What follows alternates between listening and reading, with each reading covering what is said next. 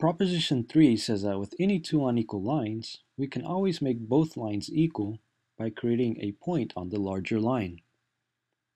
So we begin by applying Proposition 2 using line AB and point C.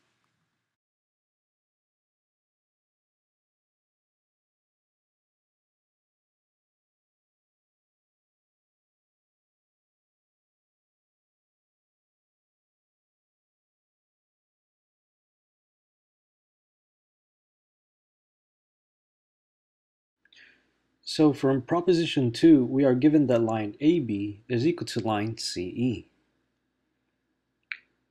For our next step, we create circle CE. Now where circle CE and line CD intersect, we create point F. We will now prove that line AB is equal to line CF. So first looking at circle CE, we see that line CE is the radius, and line CF is also the radius, and so they are equal. So we have line AB is equal to line CE, and line CE is equal to line CF. Using axiom 1, we can show that all three lines are equal. And from this, we can easily show that line AB is equal to line CF.